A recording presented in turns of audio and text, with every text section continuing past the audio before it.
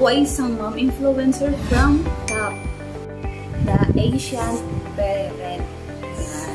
Sa mga moms na katulad ko or daddies, katulad ni Habi, kung gusto niyo ng some tips about parenting o kaya sa mga pregnant na first time, pwede nyo i-download tong The Asian Parent As a mom influencer, gusto ko lang pong magbigay ng tips sa mga mommies, daddies, uh, first-time moms, soon-to-be moms, or soon-to-be parents.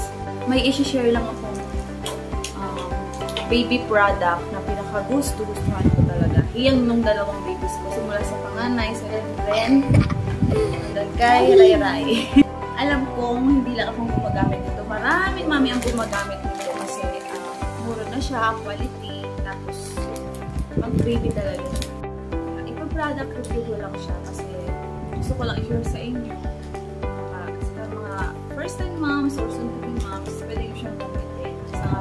Lalong-lalo na sa mga newborn. Ito po siya. Unilove. Unilove wipes. Ang gamit ko po ngayon ay powder scent. Powder scent. Unilove wipes. Gustong gusto ko siya kasi uh, ano na siya, hypoallergenic.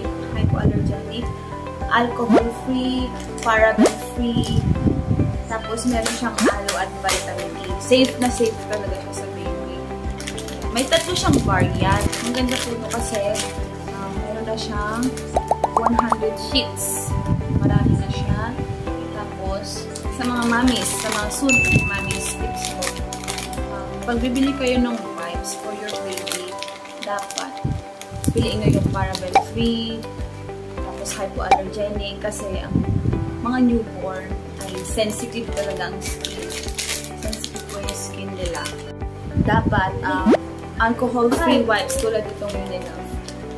It contains the natural properties of aloe vera, lanolin, and vitamin E. Natural, mild, and effective cleansing for your baby's delicate skin. Suitable for hands, face, and body, and also for nappy area. Maganda talaga itong Unilove website sa mga yung sheets niya. Basta-bastang napupunit. Hmm. Powder scent kasi kung gamit natin. Meron siyang tatlong variant. Pero parehas din naman siyang hypoallergenic, paraben-free, alcohol-free, and with aloe vera and vitamin E. Po yung um, Unilove Unscented Wipes. Yan, yung green. Tapos, pangalawa, itong powder scent. Itong gamit ko. Powder scent Unilove Wipes. Tapos, yung last is yung milk scent. Mabango yun. Amoy milk. Uh, nabibili po siya sa mga malls, sa mga drugstores. Pero ako nabili ko siya sa Shopee. Salamat, Shopee. nabili ko siya sa Shopee kasi mas safe kasi bumili dun eh.